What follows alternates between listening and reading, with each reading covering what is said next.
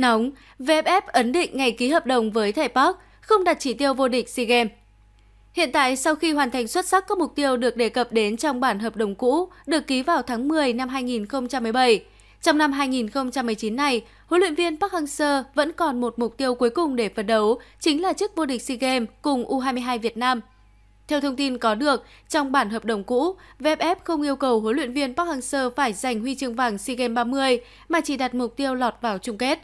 Tuy vậy, chính huấn luyện viên Park Hang-seo đã thoát ly văn bản trong những lần chia sẻ với báo chí gần đây để tự nâng chỉ tiêu lên cao hơn so với điều khoản hợp đồng đã ký với VFF. Hiện tại, VFF và người đại diện của huấn luyện viên Park Hang-seo đã chính thức nối lại việc đàm phán hợp đồng. Tuy nhiên, đàm phán vẫn chưa đi đến sự thống nhất tuyệt đối, nhưng dự kiến bản hợp đồng mới sẽ được ông thầy người Hàn Quốc đặt bút ký ngay sau trận gặp đội tuyển Thái Lan trên sân Mỹ Đình vào ngày 19 tháng 11. Bản hợp đồng mới giữa huấn luyện viên Park Hang-seo và VFF dự kiến sẽ có thời gian hiệu lực từ 2 năm trở lên, có thể là 3 năm, gấp rưỡi so với hợp đồng cũ. Trong đó chỉ tiêu chính mà ông Park được giao sẽ là đưa bóng đá Việt Nam lọt vào top 10 châu Á trong giai đoạn 2020-2030. Ông Park sẽ tiếp tục gánh vác cả hai đội tuyển, trong đó U23 Việt Nam phấn đấu cạnh tranh thành công suất tham dự Olympic Tokyo 2020 và giành quyền vào chơi trận chung kết SEA Games 31 được tổ chức tại Việt Nam. Trong khi đó, đội tuyển quốc gia Việt Nam được giao chỉ tiêu bảo vệ thành công ngôi vô địch AFF Cup 2020 và có thể là cả AFF Cup 2022. Hiện tại đội tuyển Nam đang thi đấu rất tốt tại vòng loại thứ hai World Cup 2022 khu vực châu Á và chỉ tiêu sẽ là đi tiếp vào vòng 3 để trở thành một trong 12 đội xuất sắc nhất châu Á ở vòng loại. VFF không giao chỉ tiêu bằng giấy trắng mực đen cho đội tuyển Việt Nam là phải có mặt ở vòng chung kết World Cup 2022 vì nằm ngoài khả năng của bóng đá Việt Nam vào thời điểm này. VFF lo xong tiền lương, thầy Park chờ cú hích mới gật. VFF được mở đường về nguồn tiền, nhưng huấn luyện viên Park Hang-seo vẫn chờ một cú hích thực sự từ cơ quan quyền lực cao nhất bóng đá Việt Nam trước khi đặt bút gia hạn. Xong chuyện đầu tiên. Phải nói rằng khi bắt đầu tính tới chuyện tái ký hợp đồng đối với huấn luyện viên Park Hang-seo sau hàng loạt thành công suốt 2 năm qua, điều mà VFF lo bậc nhất chính là vấn đề tài chính. Bởi như đã nói, VFF từ trước đến nay dù chỉ là một tổ chức xã hội nghề nghiệp, nhưng để tự chủ về tài chính thì gần như chưa thể. Chính bởi điều này, việc đứng trước những yêu cầu về tiền lương cao hơn, dự kiến gấp đôi hoặc ba so với bản hợp đồng cũ, rõ ràng từ phía đại diện của ông Park thực sự khó khăn.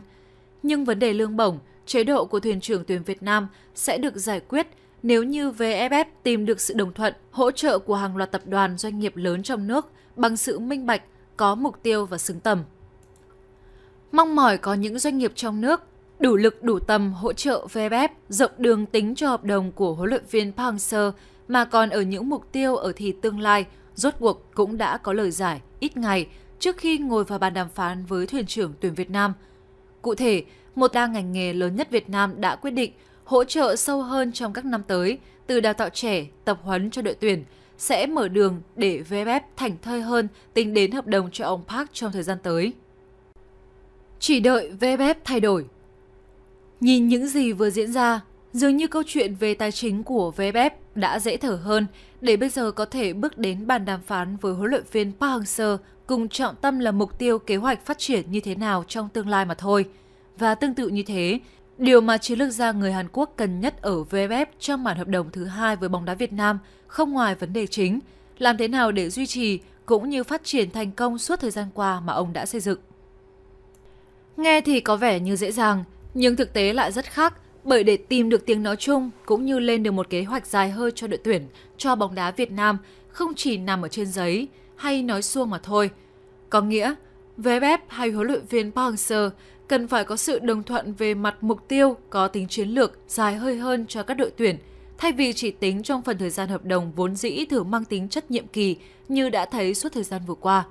Cụ thể hơn nữa, và như ông thầy người Hàn Quốc đã từng chia sẻ rằng, điều mà bản thân muốn cũng như phải thấy được từ VFF là việc phải củng cố lại hệ thống thi đấu trong nước hợp lý hơn, phát triển đồng bộ công tác đào tạo trẻ. Cùng với đó, các đội tuyển phải được đào tạo cơ hội giao hữu, cọ sát với những đối thủ mạnh để phát triển. Tất cả những điều mà ông Park muốn thực tế chẳng phải mới mẻ, nhưng ít nhất vào lúc này là cấp thiết khi đội tuyển hay bóng đá Việt Nam đã có được bộ mặt rất khác kể từ khi chiến lược gia người Hàn Quốc đến. Vậy nên mới nói, huấn luyện viên Park Hang-seo có tái ký hợp đồng hay không đang phụ thuộc vào tư duy của VFF mà thôi. VFF lại bàn hợp đồng Tây Bắc chốt ngày kẹo trễ. Thưa quý vị, VFF và đại diện huấn luyện viên Park Hang-seo chuẩn bị ngồi lại bàn tái ký hợp đồng. Đây là thời gian lý tưởng trước khi tuyển Việt Nam tiếp tục phiêu lưu vòng loại World Cup 2022. Nếu như thời điểm cách đây 2 năm khi huấn luyện viên Park Hang-seo nhận ghế nóng, rất ít người tin rằng tuyển Việt Nam có cơ hội lọt vào vòng sơ loại cuối cùng ở sân chơi World Cup 2022. Không thể nghĩ hay tin bởi kể từ thời điểm trở lại với đấu trường thế giới vào đầu năm 1990 của thế kỷ trước, đến giờ gần như VFF hay các huấn luyện viên trước đó đều coi sân chơi World Cup quá tầm và hầu hết buông mặt trận này. Nhưng đến lúc này, cơ hội lọt vào vòng sơ loại cuối cùng ở khu vực châu Á của tuyển Việt Nam đang khá rộng mở sau khi bất bại ở 3 trận đấu đầu tiên tại vòng loại thứ hai World Cup 2022.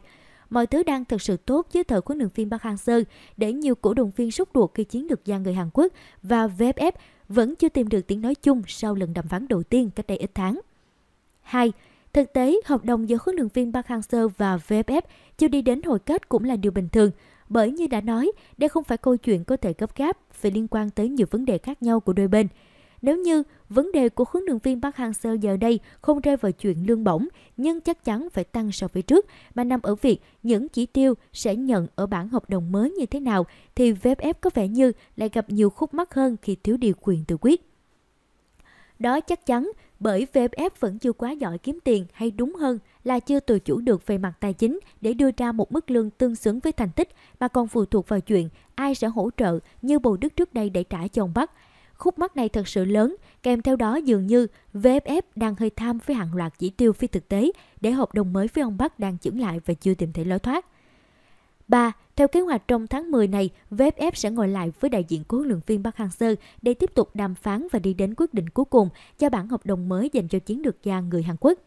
Đây rõ ràng là thời điểm rất đẹp để bản hợp đồng mới được ký, bởi đơn giản tới đầu tháng 11, cả VFF lẫn huấn luyện viên Park Hang-seo thật sự khó có thời gian nghĩ đến điều này vì rất nhiều công việc phải làm như chuẩn bị tốt nhất cho các trận đấu gặp UAE, Thái Lan tại vòng loại quân cấp hay là bước vào SEA Games 30. Thế nên xem ra bản hợp đồng mới cho huấn luyện viên Park Hang-seo cần phải được giải quyết xong ở tháng 10 này, bởi càng sớm bao nhiêu sẽ đồng nghĩa với việc ông thầy người Hàn Quốc tập trung hơn cho công việc và hoàn tất những mục tiêu mà VFF đặt ra trước đây. Còn nếu như cả hai phía mà nhất là VFF không tiến thoái uyển chuyển với những điều khoản đặt ra cho nhau để kéo dài thời gian đàm phán thì kế hoạch chuẩn bị của tuyển Việt Nam ở sân chơi quân cấp hay SEA Games chắc chắn sẽ ảnh hưởng không hề nhỏ. Ông Bắc từng nói thẳng lương bổng là chuyện nhỏ, nghĩ lớn cho bóng đá Việt Nam mới quan trọng, coi như đã mở lối cho VFF rồi. Thế thì chờ gì nữa mà không chốt đi VFF ơi.